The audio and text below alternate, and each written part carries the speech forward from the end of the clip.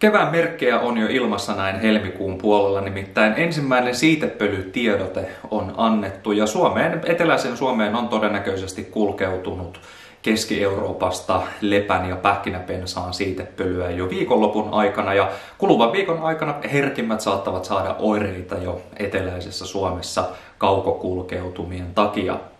Normaalisti tuo siitepölykausi alkaa Suomessa vasta maaliskuun loppupuolella, kun leppä ja pähkinäpensas aloittavat kukintansa, mutta lämpimän ja aurinkoisen sään johdosta Euroopassa, keskisessä Euroopassa siitepölyä on jo ilmassa ja sopivia ilmavirtausten myötä nuo siitepölyt saattavat saapua Suomeen siis jo näin helmikuun puolella. Varsinainen siitepölykausi ja kukinnat alkavat Suomessa kuitenkin vasta maaliskuun loppupuolella.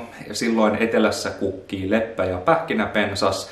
Huhtikuussa lämpimä vuosina koivu saattaa aloittaa jo kukintansa, mutta tuo koivujen kukintojen huippu ajoittuu tyypillisesti toukokuulle, jolloin suurin osa siitepölyallergikoista saa oireita. Ja kaiken kaikkiaan vuosittain siitepölystä kärsii jopa joka viides suomalainen, eli noin miljoona meistä. Toukokuussa kärsitään siis koivun siitepölystä maan etelä- ja keskiosassa, toukokuun loppupuolella myös pohjoisessa. Ja siitepölykausi on meillä varsin pitkä, nimittäin aina maaliskuulta syyskuulle siitepölyä on ilmassa. Koivun jälkeen seuraa heinien vuoro ja myöhempänä kesällä ja alkusyksystä kukkivat pujot.